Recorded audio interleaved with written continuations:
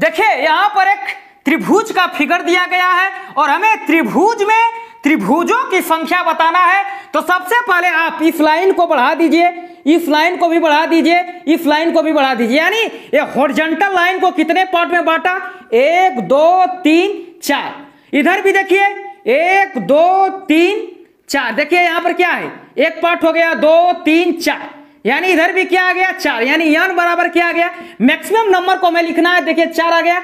अब हमें क्या करना है, इसका फॉर्मूला होता है टू यानी स्क्वायर माइनस पाँच। यहाँ पर देखिए, दो गुणा, अब ये यन की यहाँ मान हमें रखना है तो देखिए चार का स्क्वायर क्या हो जाएगा? सोलह माइनस पाँच, यानी बत्तीस माइनस पाँच कर देंगे तो इसका आंसर क्या आ जाएगा? सत्ताईस। यानी इस त्रिभुज में, त्रिभुजों की संख्या कितनी आ गया? सत्ताईस।